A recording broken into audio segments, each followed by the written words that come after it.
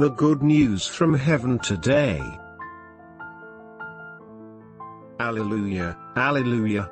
Blessed are they, who have kept the word, with a generous heart, and yield a harvest, through perseverance. Alleluia, Alleluia. The Gospel today, according to St. Luke. Glory to you, Lord Jesus Christ. When a large crowd gathered, with people from one town after another, journeying to Jesus, he spoke in a parable. A sower went out to sow his seed. And as he sowed, some seed fell on the path, and was trampled, and the birds of the sky ate it up.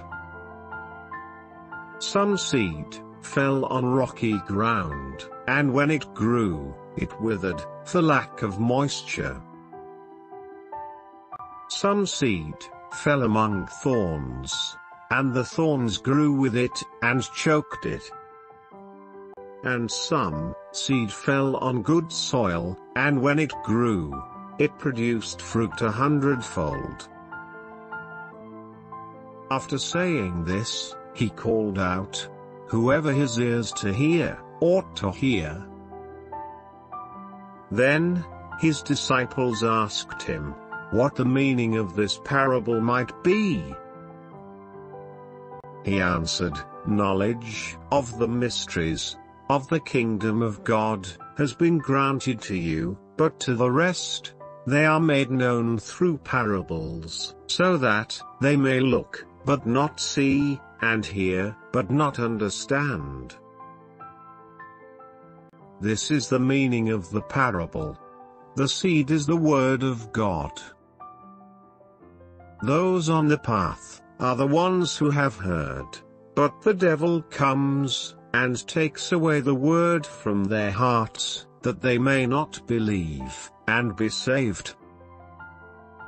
Those on rocky ground are the ones who, when they hear, receive the word with joy, but they have no root, they believe only for a time, and fall away in time of temptation. As for the seed that fell among thorns, they are the ones who have heard, but as they go along, they are choked by the anxieties, and riches, and pleasures of life. And they fail to produce mature fruit.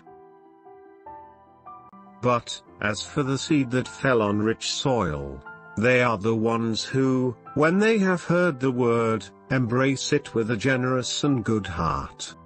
And bear fruit through perseverance. This is the good news of our salvation. Praise be to God.